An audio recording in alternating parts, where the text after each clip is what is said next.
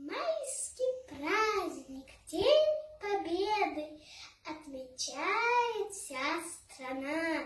Надевают наши деды боевые ордена.